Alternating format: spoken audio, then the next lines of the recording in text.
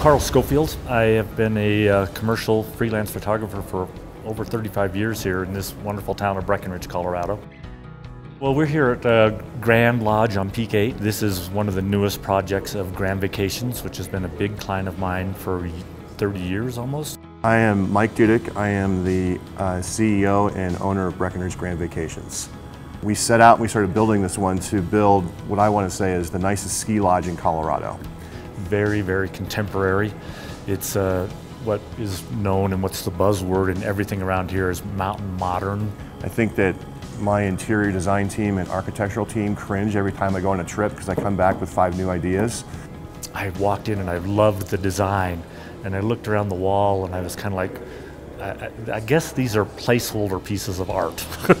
Something like that. You know, I was sort of like, didn't feel that this was quite bringing to the table what everything else was. And um, I photoshopped some of my artwork onto the walls and took it to them. My name is uh, Tim Emerson. I'm the owner of Duraplaque here in Colorado. And we are a fine art uh, printing company, manufacturing company. We work with fine art photographers. When we first came into it, probably 5% of our business was ChromaLuxe. Within three, four years, we're almost up to 80% being ChromaLuxe panels. And so that's, that's something that people can take to the bank in a sense of this is becoming part of the art industry and the design industry and signage industry. This whole project came through where the uh, owner of the, this development uh, was talking to Carl. Carl said what he could do, what the value of what his pictures could do. And so I knew immediately when uh, we started developing this that um, ChromaLuxe products were the only way to go.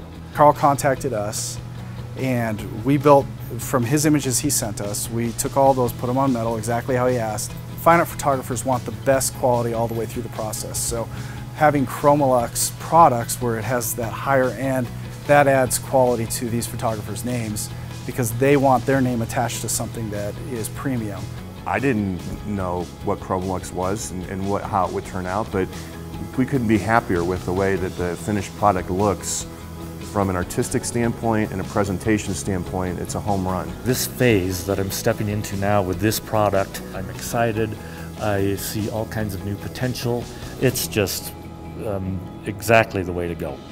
With having ChromaLuxe products on the wall up there, uh, really what it did is it, it gave that, that condo development a value for their end customers, uh, the look. And so that's, that's something that people can take to the bank in a sense of this is becoming part of the art industry and the design industry and signage industry.